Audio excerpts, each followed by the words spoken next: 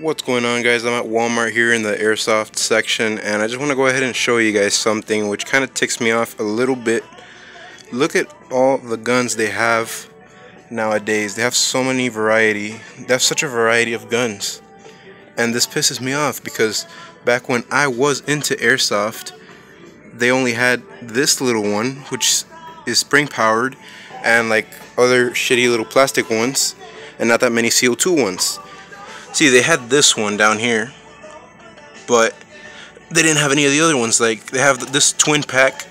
They have this one that's super cool, blowback. This one they had it, but they were always out of stock. Look at that. Look at that old western one. That's crazy. Look at this revolver. That is badass. And they got another one. They have such a variety of pistols. This one I had it, but I got it off of Craigslist. They never had it in Walmart. That's such a variety. Like, you know, after I stopped getting into airsoft and I got into real guns, now is when they stock up. That's kind of messed up.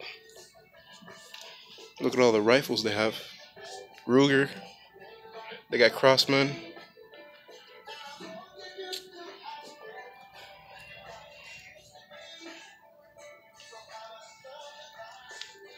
And it just keeps going.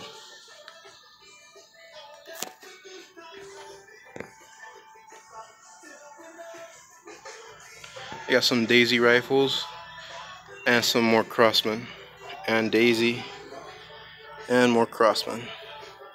So yeah, it's crazy. They have such a variety. This is up in Kendall, by the way. And yeah, they got a bunch of ammunition too. But, oh well, not into airsoft anymore. But yeah, thanks for watching guys. Hope this video was helpful. Peace out.